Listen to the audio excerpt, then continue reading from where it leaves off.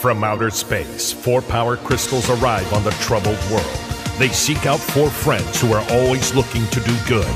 The crystals give the friends incredible powers, and with the help of the mysterious crystal mentor, the friends become Heroes!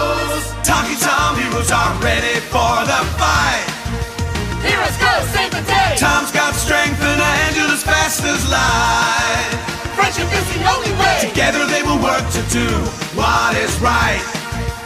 I want to join. Talking Tom heroes, Hank has a trick or two.